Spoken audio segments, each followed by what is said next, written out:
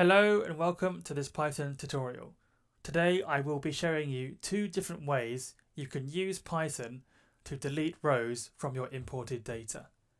This is the third part in a data cleansing tutorial series where I have already shown you how you can use NA to replace the values to what they should be and how you can add column and change column headers. Before I get started, please do subscribe to my channel either by clicking a, a uh, button on my homepage or by using a link that will be appearing in this video. Let's get started. So the first thing I want to show you is the table we've been using in Excel and I've updated it to include three rows which have do not use as their item name and Z's as um, their grouping. And what this could represent is if this Excel was a data extract from a different software, these could be um, errors due to the software being updated or just the data table itself being updated or just a different range of information being pulled from the same data table. So once I've saved that, we can now get back to our Python. The first thing the first thing I'm going to show you is where we left off last time and this is what we had. We had item category, item name, unit price, purchase counter and purchase date. And we want to get rid of these three do not use rows.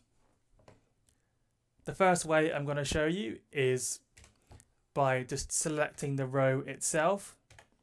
And notice on the far left of this output, we have 0 to 20. And that's what we're going to be using to get rid of these do not use columns. And how we do that is we can type in xlread equals xlread dot drop and drop will drop our selection.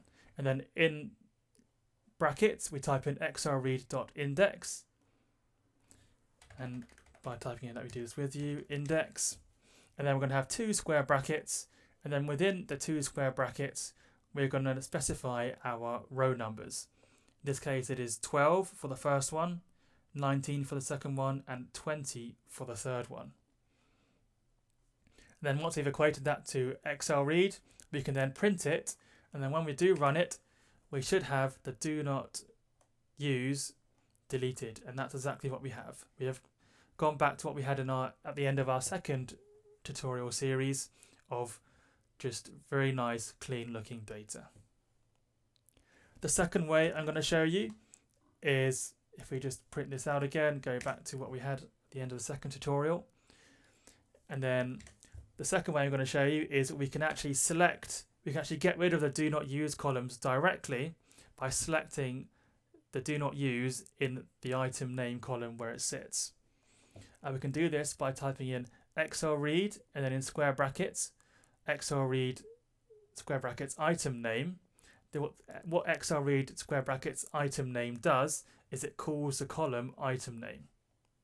And then what we have to do next is we have um, does not equal. That's what the exclamation mark equals means. It means does not equal. And then we have the name of the rows that we don't want. In this case, it is do not use. And so what we've done here is we've called the column name within the xlread table, and we've we've put it to do not equal do not use column. So we've basically deselected do not use. And we've equated that to xlread. So once we print it, we should have the do not use got rid of without needing to select them individually. So if we run it, here we see that we have got rid of all the do not use rows. So that is it for this tutorial. It's a nice short one. I thought I'll just keep it simple and just do one thing in each tutorial series. Thank you very much for watching and don't forget to check out my other videos. Goodbye.